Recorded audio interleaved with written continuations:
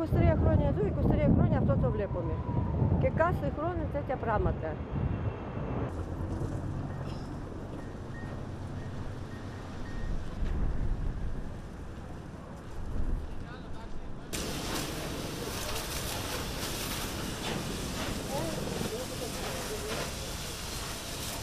Έχουμε νερό.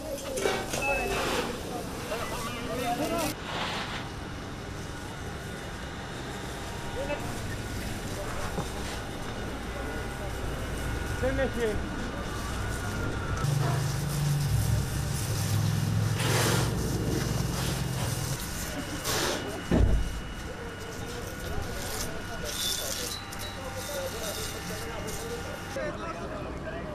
Εδώ έχει πλαστικά και εκεί πλαστικά. Αυτά τα δύο είναι εδώ.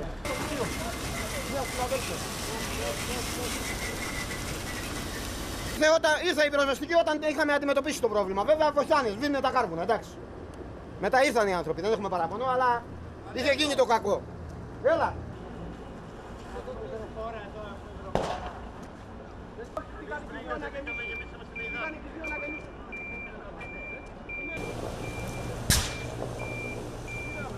Προσέχτε, θα κάνουν κρίτσι.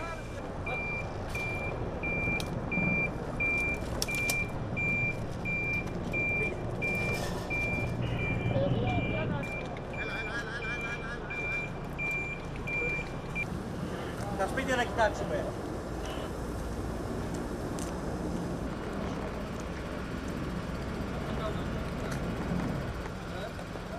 Κώστα, πάμε σε άλλα σπίτια. Ανέβα πάνω να σου δώσω λάσιμο από πάνω να σβήσεις κάτι. Τι να σβήσεις από πάνω; Η μάχη των μαχών αδερφέ.